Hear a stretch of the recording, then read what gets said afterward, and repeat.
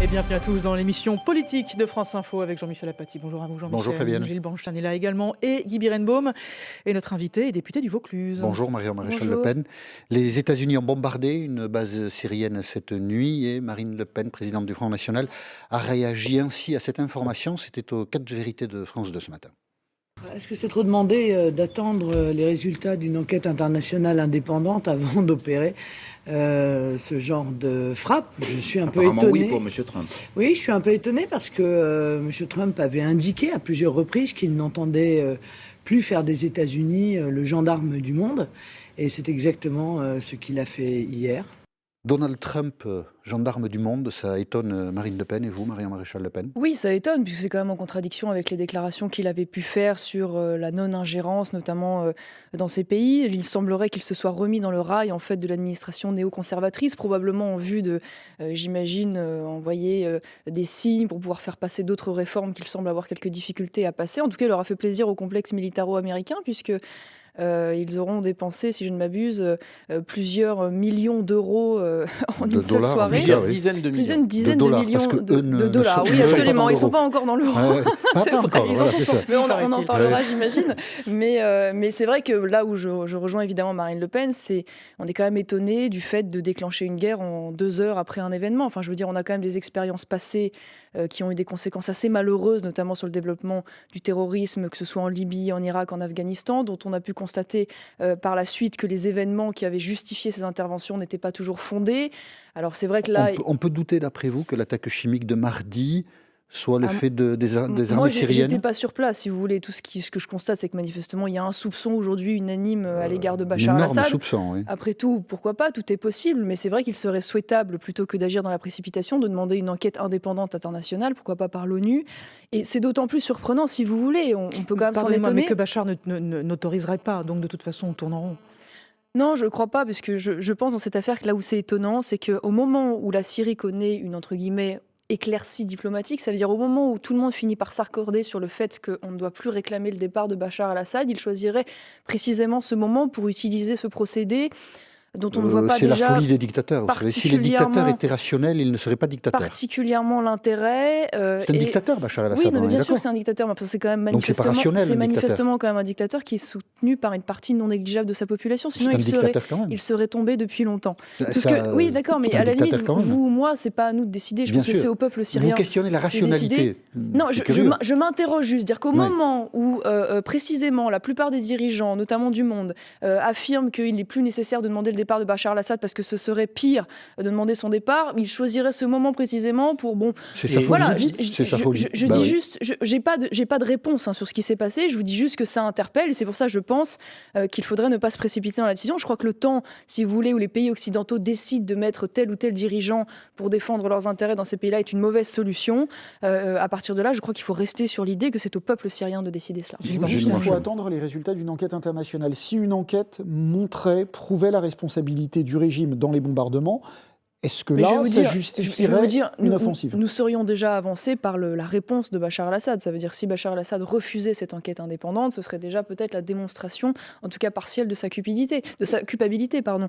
C'était le cas en 2013. Et ça justifierait là pour le coup donc, en l'occurrence, ça permettrait quand même, à mon avis, d'avoir une, une vision plus plus sereine, parce que c'est vrai qu'agir aussi précipitamment, si vous voulez, dans un pays qui est déjà saigné, qui a perdu un quart de sa population en six ans avec les conséquences que ça peut avoir sur le développement du terrorisme, je trouve que c'est vrai que c'est assez pas répondu. Le inquiétant. Fait, si preuve est faite que c'est lui, est-ce que ça justifierait la réaction des États-Unis? Je ne sais pas si ça justifierait dans ces proportions honnêtement, moi je pense que la réponse qu'on doit apporter en Syrie, si tant est que M. Bachar al-Assad soit responsable, ça va être une réponse peut-être d'organisation d'élections démocratiques, surveillées, parce que une fois de plus, je pense que c'est au peuple syrien de décider, c'est pas à nous. Et je pense que cette volonté systématique, si vous voulez, d'aller s'ingérer dans ces pays, de vouloir y placer, parce que c'est quand même ça qui, a conduit à l'ingérence en Irak, en Afghanistan ou même en Libye, de vouloir, euh, euh, comment dire, remplacer les peuples, pouvoir mettre des dirigeants qui défendent euh, des intérêts géostratégiques au bénéfice des Occidentaux, je pense que que c'est la fin d'un monde et objectivement, je crois qu'il faut sortir de cette logique. C'est pas une difficulté de sembler toujours défendre Bachar el-Assad? Non, parce que moi je défends pas Bachar el-Assad. C'est le sentiment que vous pouvez donner. Je défends, je défends les intérêts des Français. Et je pense que dans cette affaire, autant Bachar el-Assad ne menace pas les intérêts des Français, autant ce qu'il pourrait advenir après Bachar el-Assad, si tant, sauf euh, mm. décision démocratique, oh, constructive, mais à l'instant T, si vous voulez, dans le chaos qui règne, euh, pourrait vraisemblablement être pire pour la, la, sécurité des Français. Au-delà des intérêts des Français, il y a une notion que Donald Trump évoque ce matin pour justifier son action, c'est euh, le sens de l'humanité, ne pas laisser des massacres impunis, ne pas rester indifférent à ces corps d'enfants tués par des armes chimiques. Personne n'est indifférent et je pense qu'autour bah, de cette Il n'y a pas que l'intérêt des Français qui compte. Tout le monde trouve ça abominable. Je dis juste qu'en matière euh, géopolitique, il faut savoir raison garder. Souvenons-nous quand même de l'Irak nous avons mis ce pays à genoux avec des conséquences dramatiques. Il ne s'en est toujours pas remis. Et je rappelle qu'à l'époque, nous avions de la même manière avancé l'utilisation de certains procédés, de certaines armes. Et il a été démontré quelques temps après que cela était totalement faux. Donc je dis juste que dans ce type d'affaires, euh, il faut un doute, hein, quand même il faut agir avec mesure. Bah, moi, je sais pas, j'étais pas sur place, vous peut-être. Non, non, non, moi non C'est vrai que sur ce type d'affaires, voilà, je, je, préfère prendre le temps d'y réfléchir et j'aurais préféré qu'il y ait une enquête indépendante internationale. Mais vous parlez toujours de Bachar el-Assad comme étant le, le, rempart au terrorisme. En gros, le seul rempart au terrorisme, en tout cas, aussi mauvais soit-il, mais en tout cas, on ne peut pas faire sans lui. Mais est-ce que c'est vraiment un rempart ou est-ce que c'est pas le recruteur, euh, Bachar el-Assad, quand on y songe? Plus il attaque, plus il attaque, plus euh, il attise les islamistes, plus il y a des groupes qui se forment, qui sont euh, dans les, groupes liés à Daesh ou autres. Donc est-ce que c'est vraiment lui le rempart? Oui, que objectivement, moi, si vous voulez, je me félicite pas du fait que Bachar al-Assad aujourd'hui soit à la tête de ce pays. Je n'ai aucun intérêt à le faire. Tout ce que je suis en train de constater, et je pense que aujourd'hui tout le monde a, rejoint ce constat, c'est qu'il n'y a pas aujourd'hui euh, d'opposition construite, démocratique, qui défendrait bah, les valeurs des droits de l'homme. Comme elle a ramassé beaucoup de bombes sur la tête, il n'y en a pas.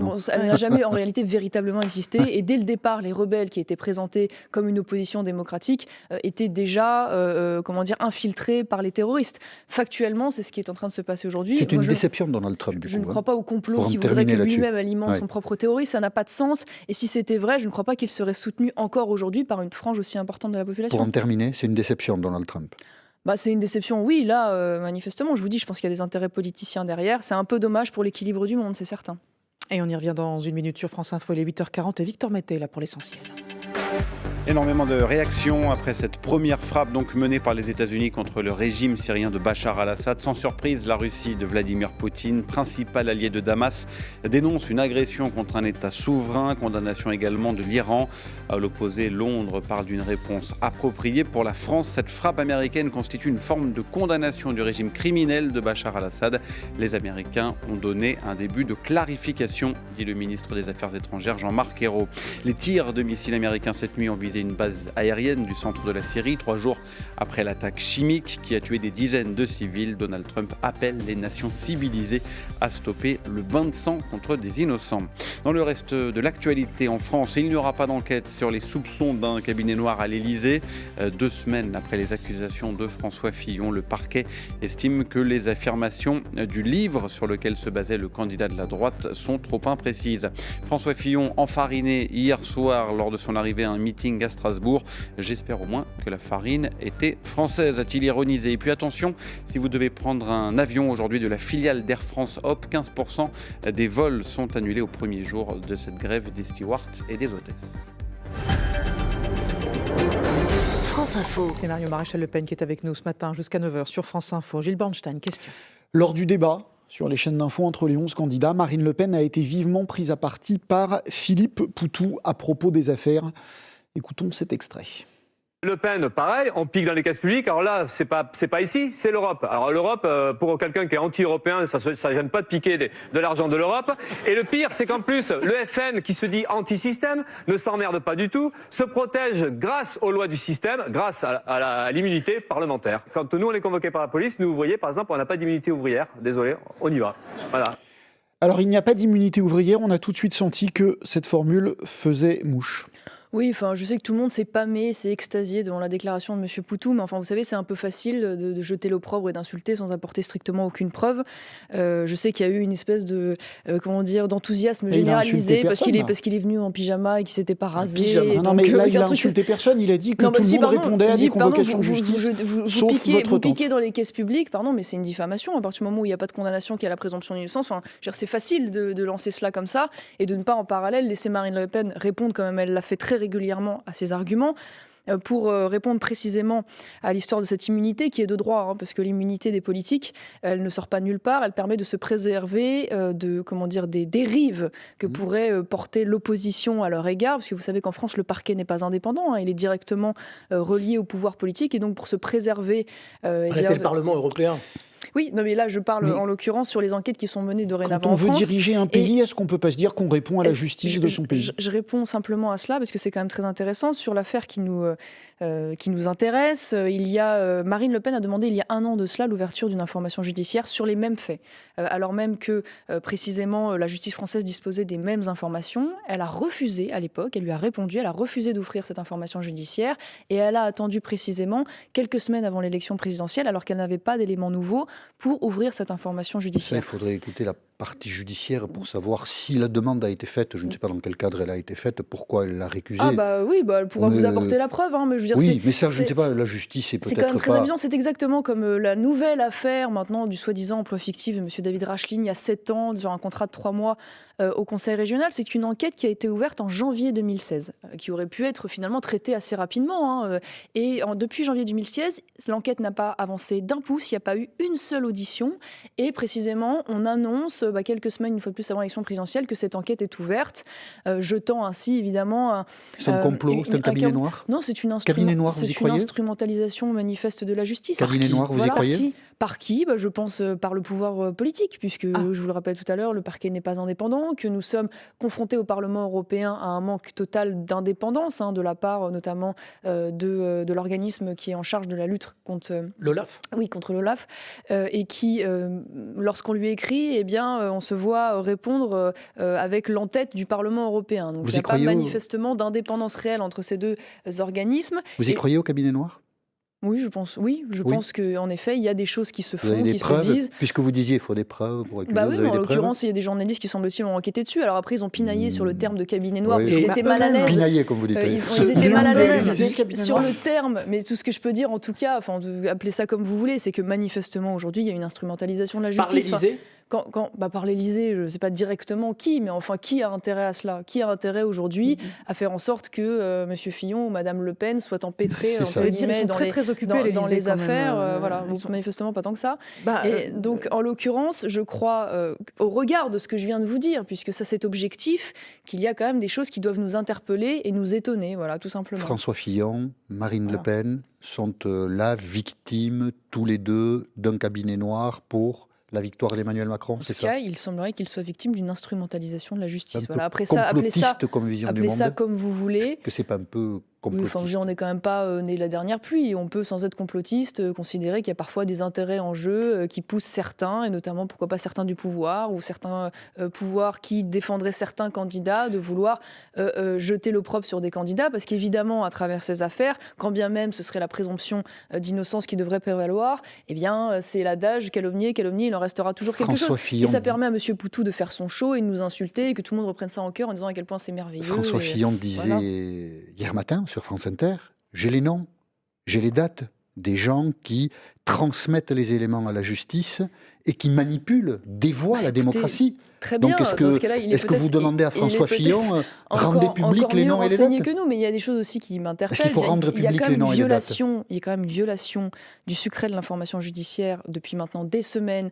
Euh, ça fait 20 ans que Oui, ça fait 20 ans, mais sans que personne, au droit à l'information. Sans que personne ne s'en offusque, euh, sans que manifestement aucun magistrat ne cherche à remonter eh bien, le fil de cette violation pour sanctionner ceux qui quand même, parce que c'est une atteinte grave quand même à l'état de droit.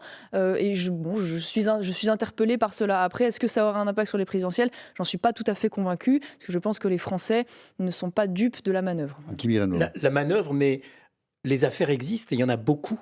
Et est-ce que parler de complot, c'est pas une façon d'éviter de répondre sur les affaires? C'est une stratégie euh, systématique chez vous? Parce que lorsque vous nous interpellez dessus, je vous apporte des réponses. Je vous ai apporté les réponses euh, en l'occurrence. Marine Le Pen d'ailleurs ne souhaite pas euh, ne pas répondre à la justice. Elle dit simplement qu'elle le fera en temps et en heure. À partir du moment où elle a demandé l'ouverture d'informations judiciaires, qu'on lui a refusé et qu'on la met devant le fait accompli en pleine présidentielle, bah, elle considère qu'elle ne veut pas être complice de cette instrumentalisation. Voilà, donc elle répondra en temps et en heure. Et une fois de plus, vous verrez, le Front National sera lavé de tout soupçon il ne sera pas condamné, comme il ne l'a d'ailleurs jamais été dans les affaires qu'on lui colle au basket depuis maintenant 4 ans. Il y a eu quelques condamnations pour euh, votre grand-père tout de même. On ne parle pas de la même chose.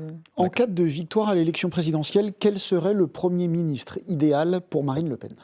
Ah, c'est à elle qu'il faut poser la question. Euh, je ne sais pas à moi de vous dire euh, quel serait le Premier ministre. Il y a un profil qui se Oui, mais il m'apparaît évident que Marine Le Pen a réfléchi à la composition de son gouvernement. Enfin, c'est tout à fait elle vous en a pas parlé. évident. Tout ce que je peux vous dire, puisqu'elle l'a dit publiquement, c'est que son gouvernement ne serait pas exclusivement issu des rangs du Front National, que le Premier ministre lui-même ne serait pas nécessairement issu des rangs euh, du Front National. J'en conclus donc qu'il pourrait venir de la société civile sans avoir exercé peut-être... Pas nécessairement.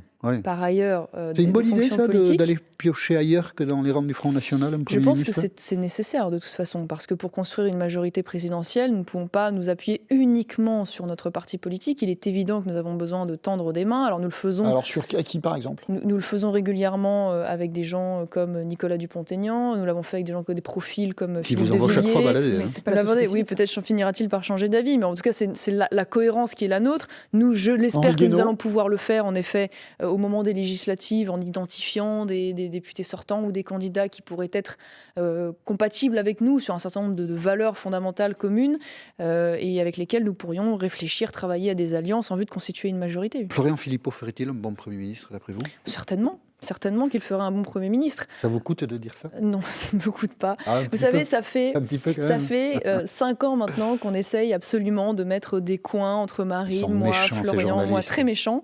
Euh, je ne rentrerai pas dans ce jeu-là parce, hmm. que, euh, parce que je considère qu'aujourd'hui, déjà, je suis à 100% derrière Marine Le Pen. Je considère que ce parti aujourd'hui est le seul parti qui peut nous sortir de la galère dans laquelle nous sommes et qu'à partir de là, même si parfois je peux avoir des points de divergence occasionnels qui ne nous auront pas échappé avec les uns ou les autres, ça ne m'empêche pas de considérer qu'aujourd'hui, euh, euh, nous sommes quand même dans une force cohérente sur la souveraineté et l'identité qui ne nous empêche pas de travailler ensemble. Vous, vous parlez donc avec Florian Philippot, tout va bien Oui, on se parle, absolument. Vous me euh, pas grand-chose nous a échappé, mais ça peut-être on le verra dans la partie qui suit. Et on verra ça dans un instant, dans une minute même. Tout pile, il est 8h50. Victor Maté est là. Trois jours après une attaque chimique du régime syrien qui a fait au moins 86 morts, dont de nombreux enfants, la réponse des États-Unis de Donald Trump avec cette nuit la toute première frappe directement dirigée contre le régime de Bachar al-Assad, une base aérienne du centre de la Syrie presque entièrement détruite, au moins quatre soldats tués, les réactions euh, à travers le monde, condamnation des alliés de Damas, la, la Russie et l'Iran en tête, soutien en revanche de la Turquie, d'Israël, de l'Arabie saoudite en Europe. Londres juge cette réponse appropriée. Pour Paris, c'est une forme de condamnation du régime criminel de Bachar al-Assad. Dans le reste de l'actualité, contrairement à ce qu'avait promis François Hollande, la centrale de Fessenheim ne fermera pas durant son quinquennat. La fermeture se fera au plus tôt en juin 2018. Décision hier du conseil d'administration d'EDF contre l'avis du gouvernement. Et puis le tennis cet après-midi, France-Grande-Bretagne à Rouen, début des quarts de finale de la Coupe Davis. Les deux premiers simples à partir de 14h. France Info. Maréchal Le Pen est avec nous sur France Info jusqu'à 9h. Jean-Michel Apathy, question. Donc il ne nous a pas échappé que Marine Le Pen n'était pas toujours sympathique avec vous. On l'écoute lors d'une interview donnée à des lectrices de femmes actuelles. Quant à la place de ma nièce, bah, la place de ma nièce, elle est députée. Voilà, je lui dois rien. Enfin, je lui dois rien à personne d'ailleurs. Elle est euh, jeune, elle est assez raide, c'est vrai. Le simple fait qu'elle soit ma nièce, de toute façon, poserait un problème. Voilà, et elle a ajouté, alors c'est pas dans le son qu'en plus vous étiez inexpérimenté, donc vraiment. C'est pas sympa. Euh, vraiment, elle vous doit rien, vous êtes raide et vous êtes inexpérimenté. Pas très tendre, quoi. Alors écoutez, moi j'ai eu Marine Le Pen euh, juste après d'ailleurs cette déclaration, parce que je m'en étais un peu étonnée comme vous, euh, de bon matin, et, j'ai compris qu'en fait. Il y avait de quoi quand même, J'ai compris en fait évidemment le contexte qui avait entraîné ces déclarations, puisque Femme Actuelle a pris le soin de couper les déclarations, de les sortir de leur contexte, de ne pas donner ah, les questions qui précédaient. Un peu de manipulation. Alors moi je comprends, je hein comprends que je comprends qu'en effet que Marine Le Pen veuille se prémunir de toute suspicion ou accusation de népotisme, parce qu'il est évident qu'autant qu'en tant que député, je suis légitime du fait de la souveraineté populaire, en tant que ministre, je serai nommé. C'était le principe de fonctionnement du Front National. Il y a combien de Le Pen, rappelez-moi?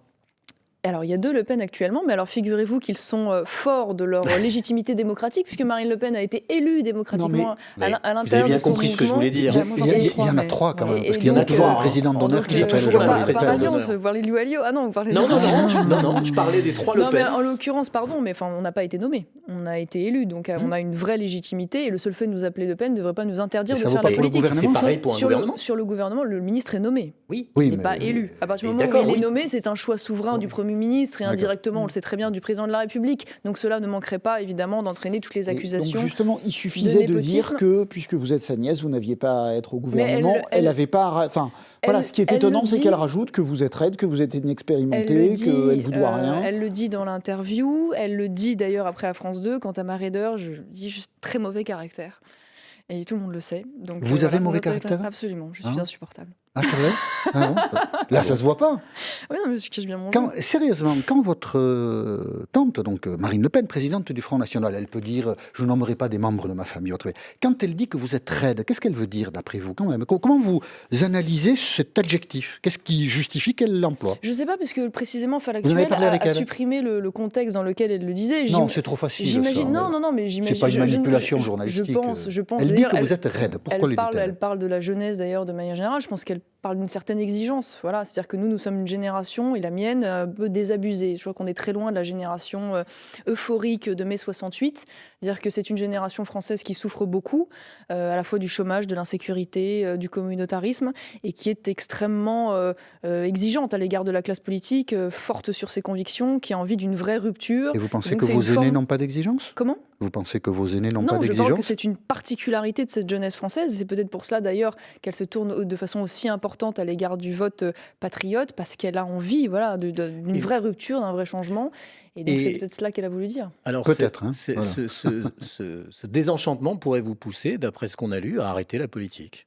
On va parler de moi pendant 25 minutes bah, ce matin. Vous avez un divan alors, bon, alors d'abord, on n'a pas parlé de vous pendant 25 minutes, on a parlé 10 minutes de la Syrie. C'est vrai, c'était plus intéressant. Alors écoutez, euh, pour faire euh, très simple, j'ai toujours dit, moi, de toute façon, que je ne ferai pas de la politique toute ma vie, je m'en suis pas cachée, euh, je ce n'est pas une nouveauté, ce qui n'empêche pas pour le moment, évidemment, d'être de, à fond derrière cette campagne présidentielle, de me donner autant que je peux, même si dès que je fais quelque chose, on me le reproche, puisque si je fais pas de meeting, on dit que, que, je... Non, non, mais l'analyse médiatique, si je fais pas de ah. meeting, on me dit que je suis pas solidaire. Si je fais des meetings, on me dit que je fais une campagne parallèle. Si je fais un média, on dit que je fais mon plan com. Et si j'en fais pas, on me dit que je me désolidarise. Donc c'est ah, compliqué.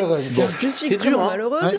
Je suis extrêmement malheureuse. Et donc, pour répondre à votre question, euh, j'ai l'intention à terme de ne pas continuer la politique. Maintenant, à moi de choisir le moment le plus opportun, sans évidemment nuire d'une quelconque manière au combat qui est le nôtre, puisque j'imagine bien que même si les raisons sont les plus personnelles du monde, on voudra analyser immédiatement euh, la volonté de euh, marquer ma différence avec Parce que je serais pas content de telle ou telle déclaration. C'est faux. Est-ce que vous pouvez Moi, vous je engager Aujourd'hui, le mouvement et Marine Le Pen sont les seuls qui peuvent nous sortir de la difficulté Est-ce que vous pouvez vous engager, Marion Maréchal Le Pen, à ce micro, tout simplement, à dire je serai candidate lors des prochaines élections législatives mais justement pas à vous, auprès de vous, que je prends mon engagement. Donc c'est pas sûr. je suis investi aujourd'hui par le parti qui est le mais mien. Mais vous ne vous engagez pas à être candidate. C'est à moi maintenant de faire le choix au moment opportun. Donc, vous n'êtes pas sûr d'être candidate au mois de juin J'ai annoncé il y a deux jours que je serais candidate à ces élections législatives. Donc vous pouvez vous engager à ce micro je serai candidate aux élections législatives. Je m'engage qu'auprès de mes électeurs et de mes militants, pas auprès de vous. Ah, mais on note la petite nuance. Bah, noter la nuance, ça vous fait plaisir. non, mais vous hésitez ou vous hésitez pas C'est simple comme question. Non, mais j'ai pas d'hésitation. Je dis juste que pour l'instant, c'est pas c'est pas l'heure d'en parler. Enfin, je veux dire, mon cas importe peu dans cette histoire. On est en pleine présélection présidentielle. Il est hors de question euh, d'une quelconque manière que je puisse, euh, si vous voulez, nuire à cette campagne en parlant de mes choix futurs et personnels. Voilà, pour l'instant, je suis à fond dans cette campagne et j'ai envie qu'on parle du fond de cette campagne. Voilà, on verra demain de, de, quoi cette élection sera faite, dans quel contexte, quel sera euh, aujourd'hui ce que va le, comment dire les données et les résultats de ces élections législatives. C'est encore trop tôt pour en parler. En tout cas, je constate que vous ne portez pas la petite rose bleue. Vous l'avez oubliée à la maison Je l'ai oubliée à la maison, ah. mais je la portais hier. Ah, bien. Hier. On va s'attacher à des choses de ah cette. Ah bah, oui. Le diable est dans les détails. Marion Maréchal Le Pen. François Fillon enfariné hier. Ça suggère quoi? Je trouve que c'est euh, déplorable. Voilà, quels que soient les adversaires, de toute façon, que ce soit les œufs ou la farine, euh, je trouve ça toujours euh, très désagréable. Et je pense que, manifestement, en plus, le profit du jeune homme est un peu particulier. Au regard de ce que j'ai cru comprendre, il semblerait qu'il soit fiché S pour être allé deux fois en Afghanistan. Ça n'a pas encore été. Ouais, on ne sait pas trop. Qu'est-ce que vous pensez en tout cas, si c'est le cas, une fois de plus, la démonstration que nous vivons dans un environnement particulièrement dangereux, puisque ces personnes-là, qui sont quand même connues pour leur dangerosité, peuvent circuler librement sans être inquiétées, alors qu'elles devraient, en toutes circonstances, si elles sont étrangères, être expulsées, si elles sont françaises, eh bien, tomber sous le coup de la loi, notamment pour intelligence avec l'ennemi. Qu'est-ce que vous pensez de François Fillon, ses emplois familiaux, ça vous a choqué, vous qui, êtes, euh, qui appartenez à une jeunesse raide et exigeante avec les hommes politiques? Non mais moi ce qui me choque, c'est pas qu'on puisse éventuellement travailler avec son épouse, son frère ou son cousin, c'est quelque chose d'assez classique même dans la société hein. civile. Ce qui me choque en revanche, c'est la potentialité d'un emploi fictif. Enfin, c'est ça euh, dont on parle. Mais le travail familial, embaucher sa femme, ses enfants. Ce qui, nous a, ce qui nous a gêné, c'est souvent des gages de confiance. Après, si le travail est, vrai, est réellement fait, bon, à la limite, c'est pas moi que ça regarde. Euh, en revanche, ce qui est un peu inquiétant, si vous voulez, concernant M. Fillon, c'est la différence entre l'image qu'il dégage et ce qu'il est manifestement réellement euh, dans son rapport avec l'argent. Mais au-delà de ça, la chose dont on a moins parlé et qui est encore plus inquiétante, c'est ses liens avec certains intérêts privés. je rappelle qu'à travers son entreprise de conseil, dont il n'a pas révélé d'ailleurs l'intégralité, il a refusé euh, euh, des clients. Nous avions l'entreprise AXA hein, pour 200 000 euros, cette entreprise dont l'ancien PDG est pressenti par lui pour être l'un des ministres régaliens et qui l'avait conduit dans son projet à promettre la, la, privatisation de la sécurité sociale, donc au bénéfice de ces assurances privées, ce qui en dit long quand même aujourd'hui sur euh, le, manque peut-être euh, de liberté de ces candidats et sur les intérêts qu'ils défendent vraiment. Merci Marie-Maréchal Le Pen d'avoir accepté l'invitation de France Et merci à tous, on se retrouve demain sur France Info.